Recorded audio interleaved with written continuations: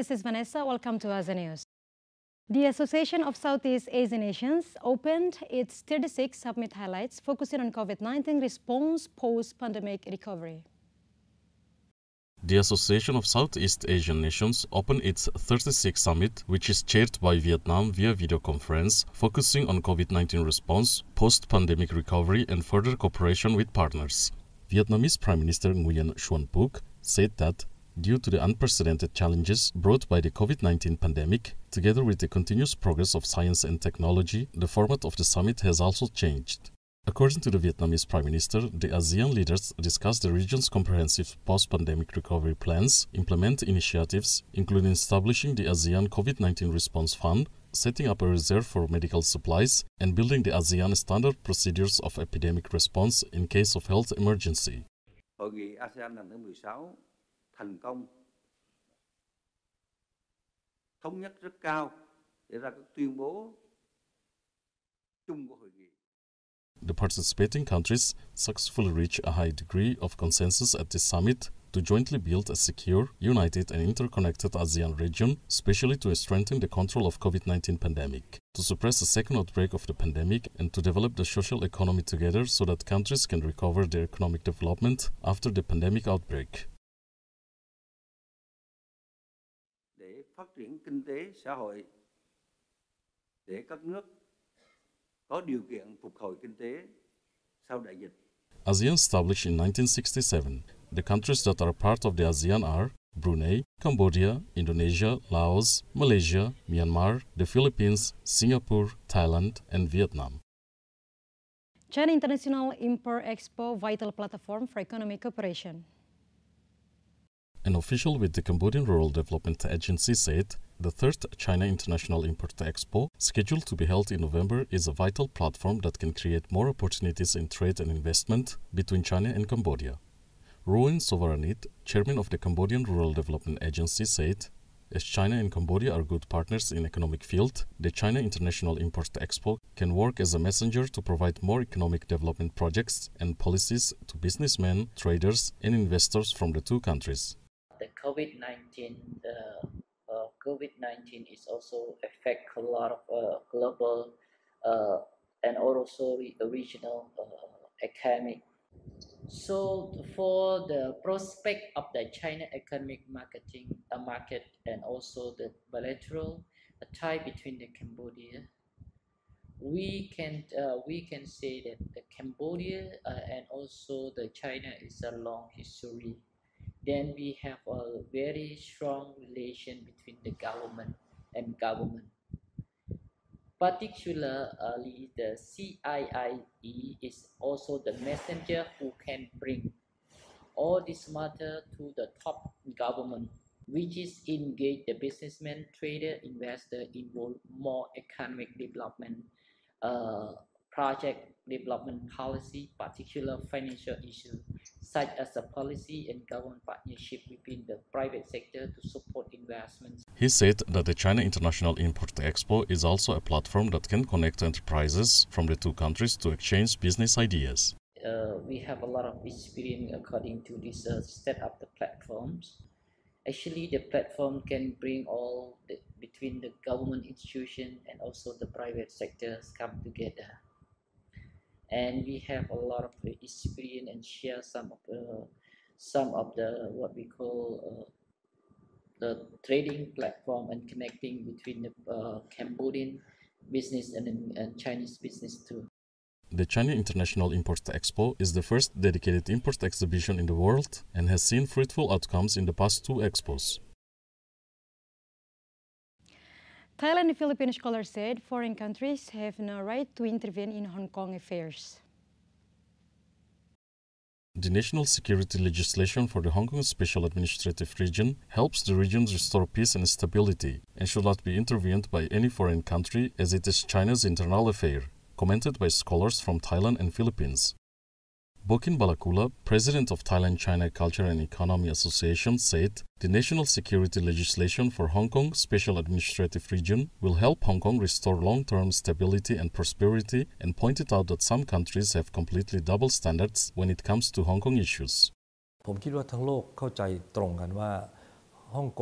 think the whole world has a consensus that Hong Kong is an unreliable part of China. When Hong Kong's stability is affected, it is natural for China to be concerned and take action to safeguard social stability. Many countries have also expressed that the legislation on safeguarding national security in the Hong Kong Special Administrative Region has a positive impact. In a word, law on safeguarding national security in the Hong Kong Special Administrative Region is conducive to Hong Kong long-term stability and prosperity. And when the American accuse of this, they do double standard for everything. I think not only double standards, there's no standards for them. Medardo Bombita, a professor from the Department of Political Science of the University of Rizal System, also expressed his support for China's national security legislation in the Hong Kong Special Administrative Region, saying that the Chinese government has every right to safeguard its state sovereignty, which should not be intervened by foreign forces. The uh, national security law is an opportunity uh, for the Hong Kong people to return to a peaceful society. Uh, we could see that the, the Chinese government only intends uh, to protect itself from activity, from terroristic activities, from secession, from subversion, and even the the, uh, the uh, so-called collusion to external forces. the double standard of imposing to other states by by, by, by world powers, they, they claim to be world powers, is very unjustifiable. You fix first your internal affairs before criticizing or giving uh, opinion against other countries' affairs. Indonesian teachers to bring offline class to village students amid pandemic curbs. Teacher Enrico Suroto knew he could not rely on hosting online lessons for pupils living in remote areas, lacking internet access or even a phone signal, when the coronavirus pandemic forced his schools on Indonesia's Java island to shut. Instead, to ensure they could keep studying, the 57-year-old elementary school teacher has had to go to them, spending about six hours a day on a motorbike and by foot to reach a handful of remote locations in the hilly Magelang area of central Java. I'm a teacher and it is my responsibility to do this. I must accompany and teach my students. If the students have no internet access, then how can they learn? So I need to get to my students. Students say they welcome the face-to-face -face meetings with Suroto, who wears a mask and maintains social distancing for lessons. Studying at home sometimes can be difficult, sometimes easy, but if Mr. Suroto is here, all subjects become easy. Students' parents said in the rural districts where he works, many of the households are not set up to use technology, as is the case in large parts of the sprawling archipelago.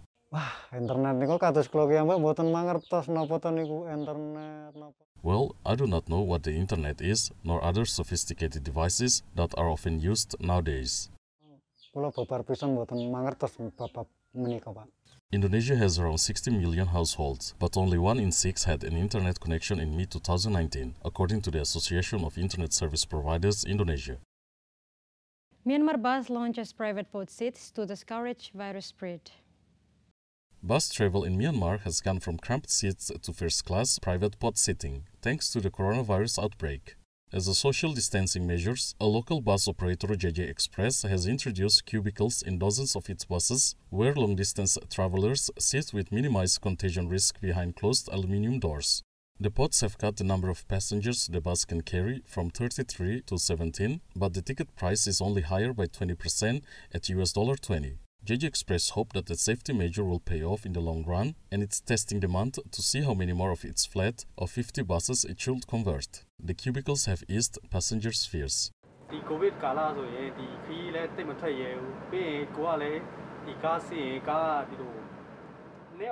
We didn't dare travel during COVID-19. We didn't feel safe when two people sat close to each other on the twin seat. Now we feel safer sitting in this private chamber. It's much more comfortable. I appreciate that the bus company is being cautious against the COVID-19. People are encouraged to strictly observe social distance measures.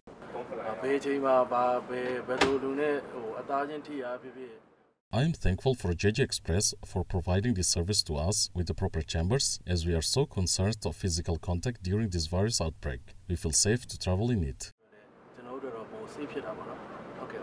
Myanmar has reported 286 confirmed cases with 23 new cases on Friday, June 19. the country remains under public gathering restrictions in pagodas, mosques, and churches until June 30.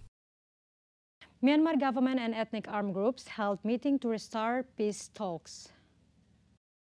The Myanmar government and ethnic armed groups that signed the nationwide ceasefire agreement held a meeting in last week and restarted the country's peace process. The meeting, held in the country's largest city of Yangon, was attended by nine government delegates and 14 delegates from the ethnic armed groups. After three days of close consultation, the attending parties have reached initial consensus on the roadmap and timetable for continuing the peace process in the coming months. It is expected that the restart of the peace process will pave the way for more ethnic armed groups to sign the nation's ceasefire agreement. President Xi says China is ready to strengthen anti-pandemic cooperation with Laos. The General Secretary of Communist Party of China Central Committee and Chinese President Xi Jinping said China is ready to strengthen cooperation with Laos in fighting the COVID-19 epidemic. In a verbal message sent to Bounnhang Vorachith, General Secretary of the Lao People's Revolutionary Party Central Committee and President of Laos, she said he believes that with joint efforts of China and Laos, as well as the international community, a final victory will surely be achieved in the battle against the pandemic. Expressing his pleasure to receive a warm and friendly letter from Bounnhang, Xi said he is deeply gratified to know that Chinese assistance has played a positive role in Laos' fights against the coronavirus disease. In a letter of gratitude sent to Xi earlier on China's support for Laos' fight against COVID-19, Bounnhang noted that the Communist Party of China and the Chinese government, at the request of the Laos and under Xi's instructions, swiftly sent a team of medical experts to Laos and have provided a large amount of anti-epidemic supplies and therapeutic drugs in order to help Laos contain the virus outbreak and treat the patients. He wished the borderly Chinese people continuous and greater successes in advancing the cause of building socialism with Chinese characteristics and realizing China's two centenary goals under the strong leadership of the Communist Party of China Central Committee, which Xi at its core. He also expressed his hope that the traditional Laos-China friendship, the long-standing stable Laos-China comprehensive strategic partnership of cooperation and the building of the Laos-China community with shared future will continue to flourish and bring more tangible benefits to both peoples. Singaporean lab found antibodies that could be used in coronavirus treatment. Singapore's National Defense Research Organization said that it found five antibodies that can neutralize COVID 19, potentially paving the way for them to be used in a virus treatment after the completion of clinical trials. DSO National Laboratory says, pending approval, human trials for the lead antibody are expected to begin within months. The organization said it found the antibodies of the blood samples from recovered coronavirus patients. Since March, it has screened hundreds of thousands of cells to find the antibodies using a proprietary screening technique. In a news release, the lab's director said giving patients an antibody could help them fight and prevent infections and allow them to recover more quickly. Singapore sets up COVID 19 testing centers to curb the spread of coronavirus. The Singaporean government has set up COVID 19 testing centers in different regions of the country to meet the increased testing needs and curb the spread of the coronavirus by identifying infected patients as early as possible. Singapore has expanded the testing scale and set up four COVID 19 testing centers in the country so far. At testing center in Marina Bay, people are lining up for the scheduled swab test. A testing center is divided into three areas, namely temperature area, registration area and testing area. People are required to follow the procedures for taking the tests. Singapore has already completed the COVID 19 testing for nursing home residents and healthcare personnel, as well as staff at the preschool educational institutions. The country will then conduct the test on medical staff battling against the pandemic at the front line and patients diagnosed with acute respiratory infections on their first hospital visit. Thank you for today. We'll see you again.